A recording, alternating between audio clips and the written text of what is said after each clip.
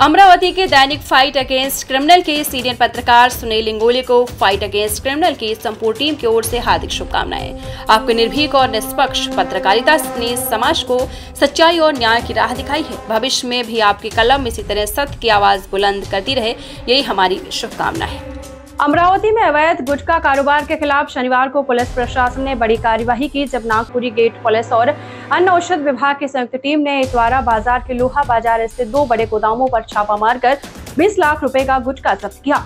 ये कार्यवाही तब हुई जब विधायक यशोमती ठाकुर ने तीन दिन पहले पुलिस, प्रशासन और गुटखा माफिया के बीच गठजोड़ का आरोप लगाया था, जिसमें उन्होंने पुलिस के कुछ अधिकारियों पर इस अवैध कारोबार में शामिल होने का संदेह जताया था। सीपी नवीन चंद्र रेड्डी के आदेश के बाद पुलिस हरकत में आई और गुप्त सूचना के आधार पर छापेमारी की गई। हालाँकि सवाल यह है कि क्या कार्यवाही गुटखा माफिया के पूरे नेटवर्क को तोड़ पाएगी या फिर यह केवल छोटे व्यापारियों को निशाना बनाने तक ही सीमित रहेगी? शहर में चर्चा है कि अक्सर पुलिस की कार्यवाही केवल पान ठेले और छोटे व्यापारियों पर केंद्रित रहती है, जबकि असली गुटखा किंग पुलिस की पकड़ से बाहर है।